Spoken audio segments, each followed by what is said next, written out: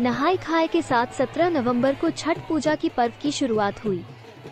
छठ पूजा की शुरुआत नहाय खाए के साथ हुई। अगले दिन छठ व्रतधारियों ने खरना, अर्घ्य और पारण किया।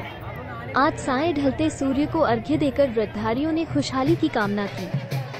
छठ पूजा में विशेष तौर पर सूर्य देवता और छठ माता की पूजा की जाती है।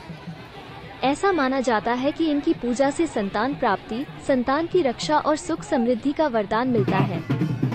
चार दिनों तक चलने वाला यह महापर्व मुख्य तौर पर बिहार, झारखंड और पूर्वी उत्तर प्रदेश में धूमधाम से मनाया जाता है।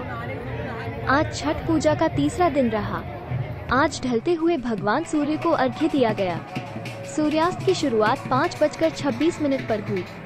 इससे पूर्व गंगा के तमाम घाटों पर व्रतधारियों की भारी भीड़ उमड़ी। व्रतधारियों से गंगा के घाट पटे हुए नज़र आए। छठ घाट की तरफ़ जाते हुए रास्ते में महिलाएँ गीत भी गाती नज़र आईं। चारों ओर धूप दीप जलते नज़र आए बताते चले कि छठ पर्व का तीसरा दिन जिसे संध्या अर्घ्य के नाम से जाना जाता है ये चैत्र या कार्तिक माह के शुक्ल पक्ष की षष्ठी तिथि को मनाया जाता है इस दिन सुबह से अर्घ्य की तैयारियाँ शुरू हो जाती हैं। पूजा के लिए लोग प्रसाद जैसे ठेकुआ, चावल के लड्डू बनाते हैं छठ पूजा के लिए बाँस की बनी एक टोकरी ली जाती है, जिसमें पूजा के प्रसाद, फल, फूल आदि अच्छे से सजाए जाते हैं। एक सूप में नारियल पाँच प्रकार के फल रखे जाते हैं।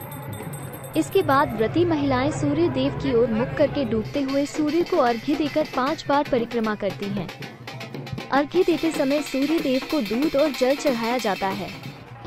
उसके बाद लोग सारा सामान लेकर घर आ जाते हैं।